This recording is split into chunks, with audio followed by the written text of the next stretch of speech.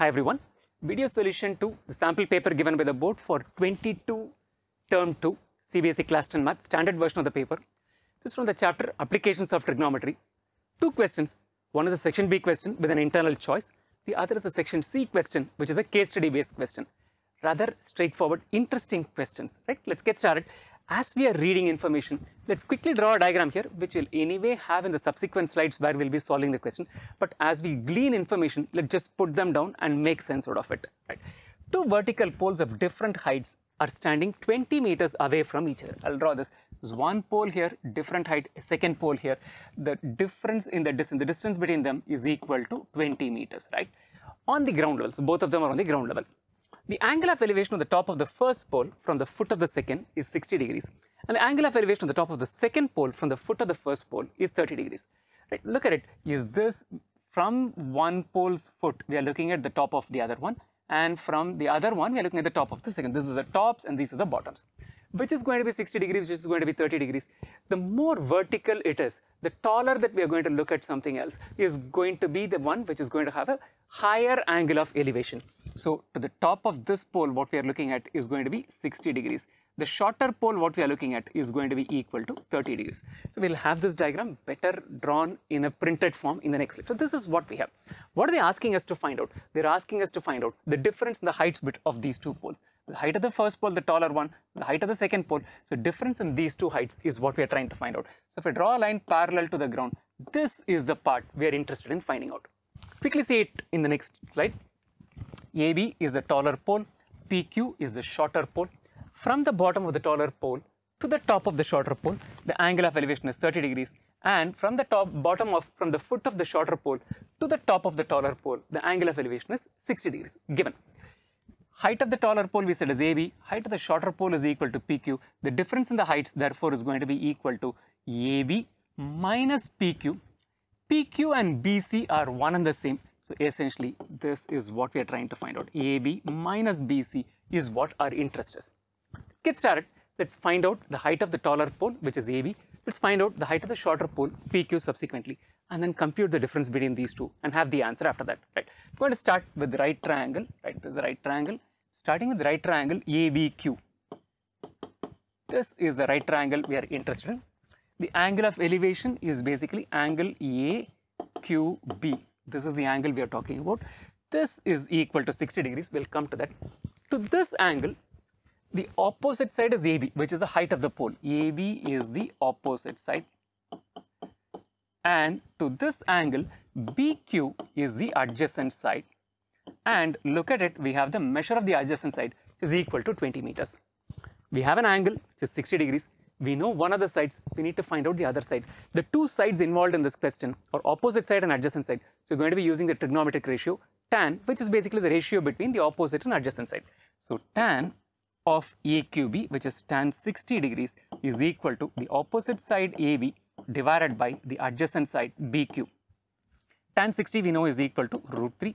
So this is equal to AB divided by BQ is a 20. So the measure of AB is equal to 20 root 3 meters.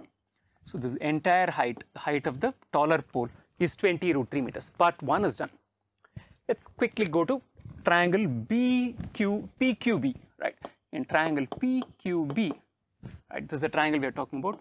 This angle is equal to 90 degrees. The angle I am interested in is angle PBQ, which is equal to 30 degrees. To this angle, PQ is the opposite side, which is what we want to find out the height of the shorter pole. And BQ is obviously the adjacent side. To this angle, this is the adjacent side. So which trigonometric ratio will we be looking at? Again, same tan.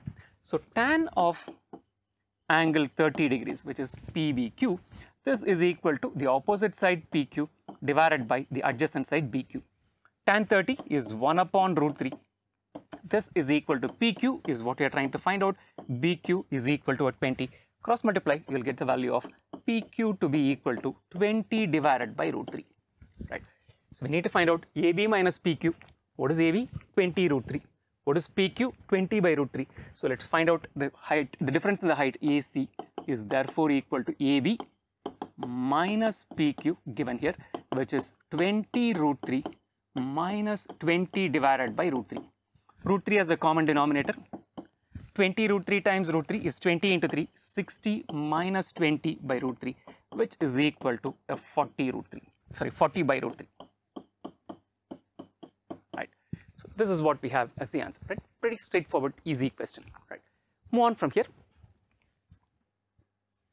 As I mentioned, this question has an internal choice. So let's look at the second one. A boy 1.7 meters tall is standing on a horizontal ground. As I had done with the last one, here again, let's draw. This is the boy we are talking about. He's standing on ground. His height is 1.7 meters, 50 meters away from a building. So this is the building we are talking about. The distance between the foot of the building and the boy is 50 meters. The angle of elevation of the top of the building from his eye level eye level, right? This is the eye level, which is practically the height of the boy, right? So at 1.7 meters height, if you're looking at the angle of elevation, this angle of elevation works out to 60 degrees is what they're saying. What we need to find out is the height of the building, which is this entire height. And they've said take root 3 to be equal to 1.73. We'll use it to get the final answer.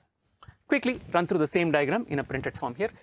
CD is the boy whose height is 1.7 meters. At his eye level, he is looking at the top of the building and this angle of elevation which is angle ACB is equal to 60 degrees. We need to find out what we are interested in finding out is AE is equal to what? Actually if you look at it AE is nothing but AB plus B this part plus this. BE is equal to CD, BE is equal to CD. So what we are trying to find out is AB plus CD which is AB plus 1.7 meters. So all that we need to do is find out the measure of AB. Do we know something? ED is equal to BC. ED is equal to BC. So that is equal to 50 meters. Now look at right triangle. In right triangle ABC, right? In this right triangle, for angle ACB, which is the angle given to us, AB is the opposite side and BC is the adjacent side. So we're trying to find out the opposite side. We know the measure of the adjacent side and we know an angle. Opposite side, adjacent side, the trigonometric ratio we're going to be using is a tan. So let's compute tan of 60 degrees. Tan 60 degrees is equal to the opposite side AB divided by the adjacent side BC. So this is equal to root 3 which is equal to AB which is what we are trying to find out. BC is equal to ED we said therefore this is equal to 50 meters. So AB is equal to 50 root 3. 50 into 1.73 is what we'll have to find that out as. 1.7 into 50 is equal to 85. 1.03 into 50, 0.3 into 50 is 15, 0.03 is a 1.5. So this is going to translate to 85 plus 1.5, 86.5 is what I have. So this is equal to 86.5. This component is 1.7. So the measure of AE is equal to 86.5 plus 1.7 which is equal to 88.2 meters. This question because the question is explicitly said take root 3 is equal to 1.73 don't stop at 50 root 3 plus 1.5 compute the answer and give it finally as an 88.2 right done. So second variant is also done. I think in terms of calculation the second choice was a wee bit easier than the first one. Here we're moving into section C question. This is the case study based question quickly get started. This is random data, general data, read it for fun sake, not important for the solving the question. Look at this, this is where the information starts. A guard stationed at the top of a 240 meter tower, right? Again, let's quickly draw as we, this is a 240 meter tower. The guard is stationed on top of it, observed an unidentified boat coming towards it. The boat is somewhere here, unidentified boat. He is seeing the boat moving towards this tower. A clinometer or inclinometer is an instrument used for measuring angles. The guard used the clinometer to measure the angle of depression to be equal to 30 degrees. So this angle that he has measured is equal to 30 degrees is what we have. So this is the data we have. Height of the tower is 240 meters. The angle of depression of this boat from the tower is equal to 30 degrees, right? We have to find out two things. First one, find out the distance of the boat from the foot of the observation tower when the angle of depression is 30 degrees. Second part, after 10 minutes, he finds that the boat was approaching the tower and its distance from the tower is reduced by 240 into root 3 minus 1. It's closer, right? When he observed initially, it was here. This is where the angle of depression was equal to 30 degrees. 10 minutes later, he's finding it closer to the tower. It's moved in this direction. How much closer? It's traveled a distance of 240 into root 3 minus 1 meters. At this point, right, the question is now asking us to find out the angle of depression at this point, right. So we know what the questions are asking us to do. Quickly, let's draw these diagrams properly in a printed form, solve questions starting from part one, right. So this is the, they've given us an image of a lighthouse and a tower, observation tower, right. So we're looking at first part. This is when he's first observing this boat. The angle of depression is equal to 30 degrees. Height of the tower is equal to 240. What we need to find out is how far is the boat from the foot of the tower. BC is what we are trying to find out. We know that angle of depression is equal to angle of elevation. So angle ACB is going to be equal to 30 degrees. So I'm going to look at right triangle ABC in right triangle ABC to angle ACB, which is angle 30 degrees, AB is the opposite side and BC, which we are trying to find out, is the adjacent side. Opposite side value is known to us, angle is known to us. So let's use the trigonometric ratio that combines these two, which is tan. So tan of angle ACB, which is tan 30 degrees, is equal to AB, which is 240, divided by BC, which is what we are trying to find out. So 1 upon root 3 is the value of tan 30 is equal to 240 divided by BC. Cross multiply both these terms. So what we have is BC is equal to 240 root 3 meters. So when he is observing for the first time, the boat is 240 root 3 meters away from the foot of the tower. Part 1 is done. Let's move on to part 2. Now the boat is moved closer.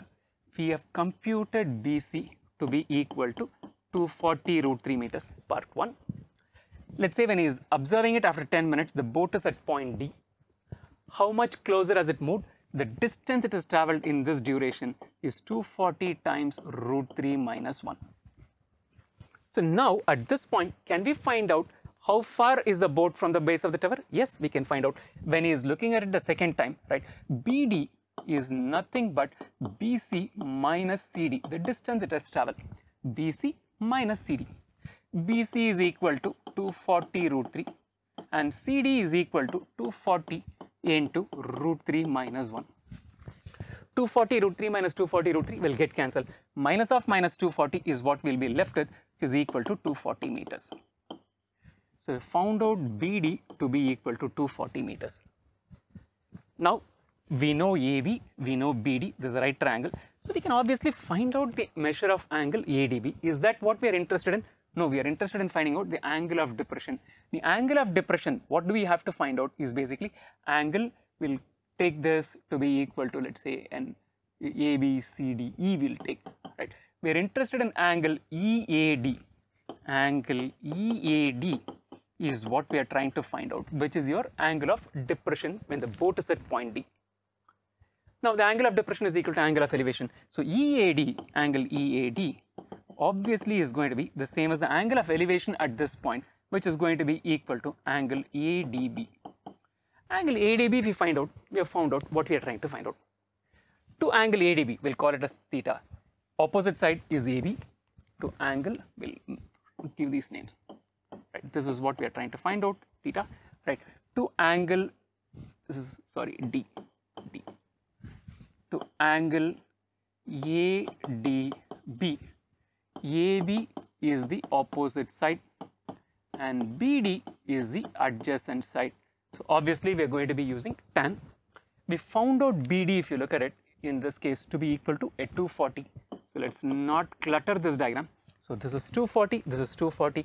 So tan of angle ADB is equal to AB the opposite side divided by BD the adjacent side which is 240 divided by 240 which is equal to 1 tan of some angle is equal to 1. What is the measure of the angle? We know tan 45 is equal to 1.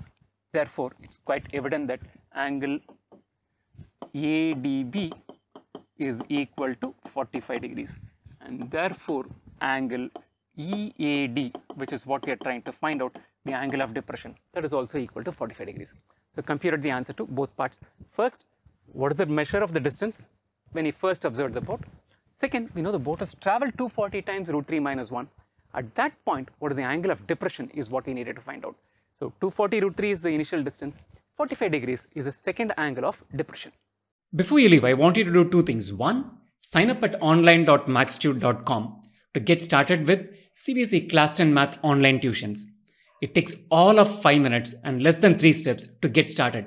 And second thing, I want you to subscribe to this channel and turn on notifications so that you get notified every time a new video is uploaded. Spread the word about this channel to your friends and classmates.